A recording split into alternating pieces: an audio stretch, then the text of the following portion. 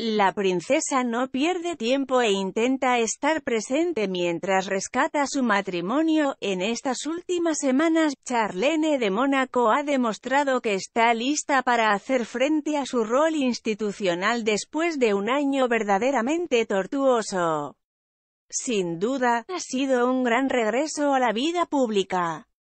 Además, tanto ella como su esposo el príncipe Alberto tienen un gran motivo para celebrar ya que sus hijos, los príncipes Jax y Gabriela, esta vez son los absolutos protagonistas en la jornada más tierna de toda la semana. El Club Náutico de Mónaco se convirtió este viernes en el escenario perfecto para la entrega de galardones a los ganadores de la iniciativa Sea Adventures Summer Camp y en esta oportunidad incluyeron a los pequeños hermanos en las actividades que les permitieron conocer las maravillas del mundo marino y la navegación.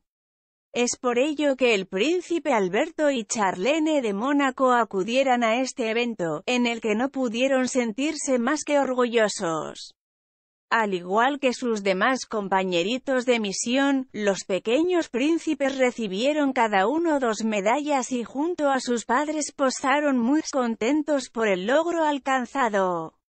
Pero quien se distinguió en esta oportunidad fue el propio príncipe Grimaldi, que no pudo evitar sacar una camarita que llevaba consigo para tomar sus propias capturas e inmortalizar un momento tan significativo como este.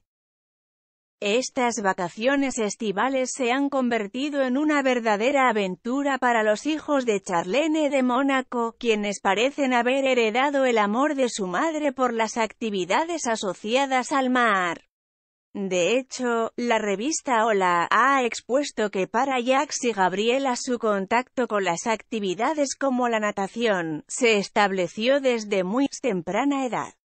Por este motivo, es que antes de esta ceremonia ya estuvieron en un curso de buceo inicial y salvamento ofrecido por la Academia Marina Monegasca, también conocida como la Ecole Bleue. Es así como la sudafricana intenta recuperar el tiempo perdido con sus pequeños tras un año de completa ausencia mientras afrontaba sus problemas de salud y un posterior decaimiento en su salud mental que requirió además su reclusión en casa de reposo fuera de Mónaco. En este sentido también se le ha podido ver cada vez más cercana al príncipe Alberto, con quien ha compartido muchas sonrisas y complicidad en las últimas actividades de agenda que han compartido.